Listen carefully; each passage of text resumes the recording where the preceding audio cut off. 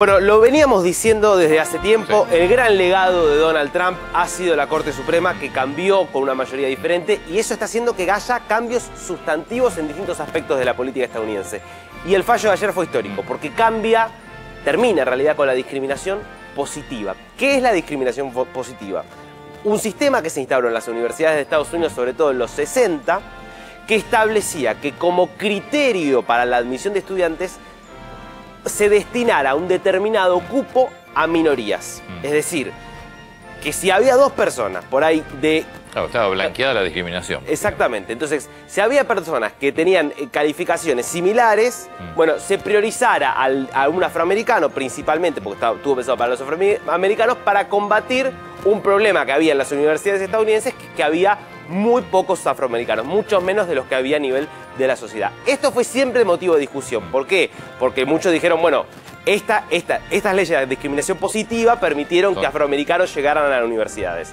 Del otro lado del mostrador, muchos dijeron, bueno, es antimeritocrático, Mm. porque estás dejando afuera gente que quizás tiene más méritos porque es blanca, básicamente. ¿Qué es lo que dijo la Corte Suprema en su fallo de ayer? Básicamente, no se puede tomar el color de piel de una persona Mm. como criterio para admitirla o rechazarla en una universidad. Vos podés tomar su experiencia personal, podés tomar, por ejemplo, como si querés favorecerla porque ha sufrido discriminación, podés plantearlo, pero no podés tomar la- el color de piel.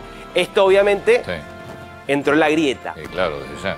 Biden, demócrata, en contra del fallo de la Corte. Es una Corte, como te decía, muy controlada por el Partido Republicano. Bueno, durante décadas la Corte Suprema reconoció la libertad de una universidad para decidir cómo construir un cuerpo estudiantil diverso y brindar oportunidades. Hoy la Corte se alejó de ese precedente Sí. poniendo Igual es muy difícil que puedas probarlo esto, ¿eh? que, en una decisión de la universidad.